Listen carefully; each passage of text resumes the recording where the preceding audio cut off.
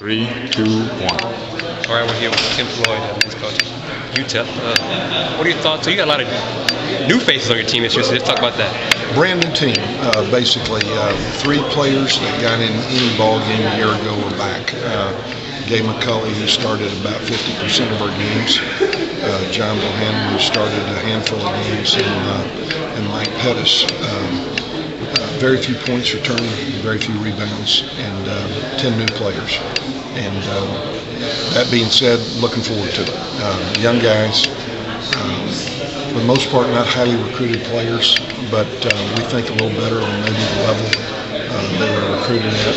And, uh, you know, a lot, lot, probably more questions than answers at this point, but we're going to throw them to the fire. Uh, going to play a very competitive schedule uh, for a new team playing uh, on the road at UNLV, on the road at Oregon.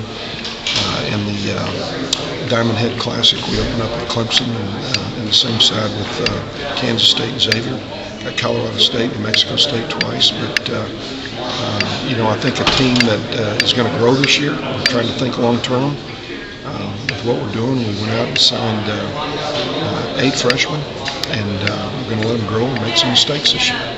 You mentioned Bohannon, uh, guy from East Park, Lancaster, was quite a prep player, and I know played some quality minutes for you guys last year. Talk a little bit about his development and what you expect from him this year. Well, you know, he got some experience a year ago. Uh, he he uh, is a guy who uh, obviously had to get stronger. I think he has gotten stronger. Uh, has to uh, take some mistakes out of his game. That's part of what uh, he was about as a freshman. Um, and knows that in order to, to have the kind of career that he wants to have, that he has to eliminate, uh, you know, some turnovers and uh, uh, some mistakes in his game. But uh, I think that the year of experience will help him. Kevin Perry, also a guy that's a dual sport kid. Uh, talk a little bit about him and I guess, uh, you know, when you expect him, I guess, and, and what to expect from him. Yeah, you know, Kevin uh, played a lot of basketball in high school. Um, had the benefit of going through our practices a year ago, so everything will be more familiar to him this year when he comes out. Um, we were right into the heat of the schedule a year ago, and it was very difficult to go back and reteach. But I think he absorbed a lot, and uh, this year uh, may have a different role and probably get to the floor and help us. What's your philosophy in general, just on dual sport kids like that, football, basketball? I'm all for it. I mean, you know, um, you know, remember the Charlie's, Charlie Wards and uh, uh, Julius Peppers. Uh, in fact, we uh, got a guy coming next year that will be playing for the football uh, team. Uh, who's a very good player. I cannot mention his name. I just remembered we haven't signed him yet, but uh, um, big advocate of him. He came close to getting it. Boy, he did. I started to blow that one. My. With all of the new faces you have, what, how good can a team be this year? What do you expect from them? You know, um, I've been down this road uh, a couple times. Um, at the University of New Orleans, went through it my second year. Um, went through it um, at Iowa State my second year, and um, both those seasons turned out okay. Um, so we're not going to sell them short. Uh, we're going to approach it like we would any other year. We're, uh, we're going into every game expecting to win. Uh, that may be delusional at this point, but uh, uh, I hope not. You know, we've got a bunch of competitive guys that were part of winning programs that, that won state championships and city championships. And um, our biggest philosophy was trying to put 10 new guys together that, were not used to getting beat. And that if we got them together and threw them out there in today's new college world where experience doesn't seem to be as big a deal because you're seeing um, younger teams and freshmen contributing more because of uh, all the attrition that we have in our sport. Uh, uh, you know, I feel uh, like they're there because they want to play, and uh, they're there because they viewed it as an opportunity to play. And uh, hopefully, we were right with our evaluations. Coach, has the uh, conference come to a point now to, with uh, you having a young team and uh, being able to not only just compete but actually have a shot at, at, at winning this year?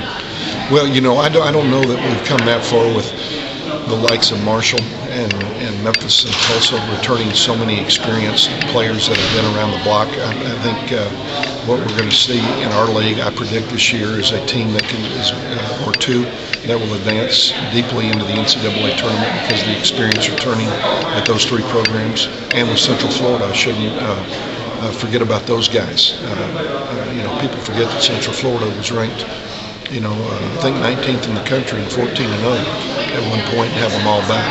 Um, so uh, I, I- don't know that we can uh, compete with that type of experience this year because uh, we could very well see a, a team uh, uh, like Butler, like VCU, uh, that was senior laden, uh, with uh, very, very talented players out of this league emerge this year. What do you see the league trending in terms of NCAA bids? Well, I think that uh, when you have eight teams in a league uh, that were in the top 100 in the RPI, there were only two other leagues that did that, the Big Ten and the Big East. Um, if the selection committee pays attention to that and the number of returning players in those programs, um, it should only go upward.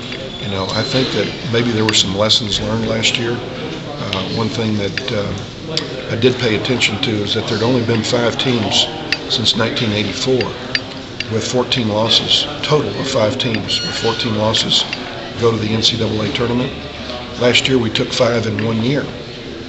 Um, then you see the Butlers and the VCUs and teams that have learned how to win versus teams that have learned how to lose. And uh, maybe they'll pay more attention to teams that have learned how to win, which you're going to see a lot of in Conference USA this year. A little bit about the quality of the coaches in this league, and you know you've been at different levels and, other places, and a lot of other coaches around this conference have been other places and kind of found a, a great home in this conference. Talk a little bit about that and, and just the fraternity in this league. Well, I, I think that it's a league where uh, you've got guys who have done it and proven it, and then you've got other guys that are young and hungry and um, and as talented as the guys that have done it and proven it. I watched that last year. Uh, Doug Wojcik in that category, Donnie Jones in that category, Tommy Herrion in that, that category. Uh, a guy that I think did the best job of anybody in our league last year was Ed Conroy and uh, and he, he finished uh, down towards the bottom. But it's all based on what you get out of your talent, and as his talent uh, continues to go go upwards, uh, you're going to see uh, one of the great coaches in the country down at Tulane. Uh, and then you've got your Larry Eustachys, who's a National Coach of the Year and a runner-up National Coach of the Year. Um, uh, James Dickey, who I competed with back in the old Big 12, uh, who's extremely talented. Um, it's it's a league that I think can compete with any league in the country in terms of the X's and O's. And Josh Pastner's uh, certainly got stardom written all over him. You know, with the, the, the great start that he's had to his career. So, and I hope I'm you know not forgetting anybody here, but uh, uh, all I can tell you is those guys jumped out at me last year. Thanks, Coach. Good Coach. Thanks, Coach.